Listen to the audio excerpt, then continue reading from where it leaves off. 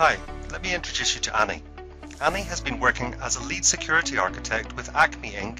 for a couple of years and has been benefiting from using SAP Access Control to govern user SAP ERP access.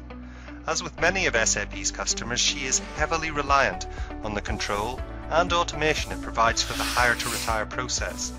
It supports everything from technical role design to user provisioning, access risk analysis to mitigation, compliance reporting to super user management. This has been a game changer for her and has dramatically reduced costs whilst increasing her confidence. Recently, Acme CISO explained to her that he is impressed by the solution's capabilities, but felt that he needed additional protection due to some recent changes in how the company functioned. He was aware that he now relied on a largely remote workforce at a time when cyber attacks were increasing, and he wanted a way to make it easier for his users to access his system whilst ensuring that his crown jewels were adequately protected.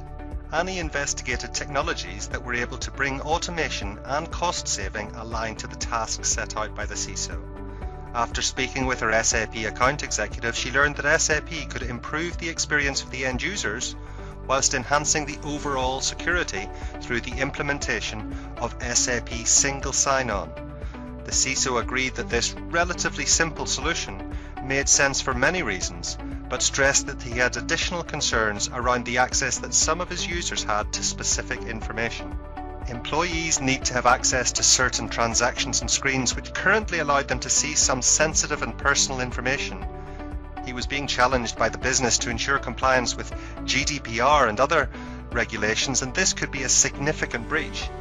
He asked Annie to again investigate whether it was possible to further extend the control she had by adding the capability to hide fields and even log what people had seen. And so, after two relatively short implementations, Annie was overjoyed to be able to go live with both SAP Single Sign-On and SAP User Interface Masking and User Interface Logging. Now she had much broader control password management was now significantly easier, and she stopped getting as many password reset requests, and the user experience had certainly much improved. She still had all the benefits and controls from SAP Access Control, but now, in addition, she could obfuscate or monitor access to specific information on the user's screens. The CISO was delighted with the extension of the control Annie's team had over her user access and voiced that he wished he had similar levels of control over a lot of the other systems in his landscape. Annie smiled. She knew that SAP had the ability to expand the abilities of SAP Access Control across a heterogeneous landscape. She had heard from her SAP account executive that SAP Access Control, whilst optimized for SAP core solutions, were not tethered to them and she could, relatively easily, start rolling out the same level of control and automation across the SAP cloud solutions, including SAP Ariba and SAP SuccessFactors. She also knew that the expanding of the coverage of SAP Access Control even outside the SAP estate was entirely possible.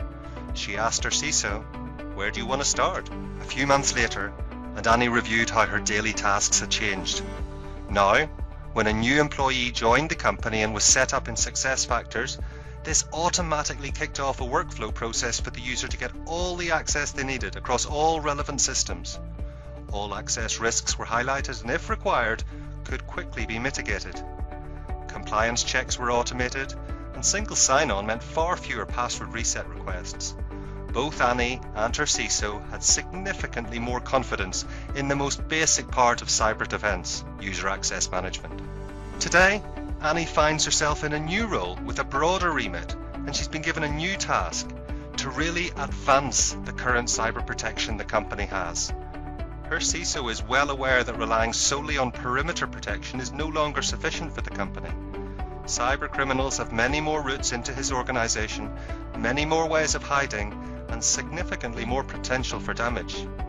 SAP Access Control remains the foundation, but in 2021, additional flexibility and defined attribute-driven controls relating to the source of the access request would deliver additional benefits. Annie knows that for critically sensitive data, especially, user management may require the move to attribute-based access control. And so once again, she is working with SAP to plan the deployment of SAP Dynamic Authorization Management as a future-proof solution in her environment. In addition, her company now runs in real time using the power of SAP S4HANA, and this brings with it a huge amount of potential opportunities but also some additional risks. SAP HANA has increased the potential for optimizing many company processes, but it also offers huge potential for improving cyber protection.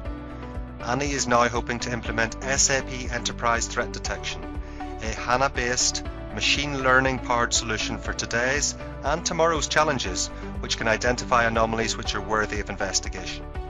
Finally, a solution fit for purpose in the modern world. Annie gives a smile of relief. She's still in control. She's still impressing her management.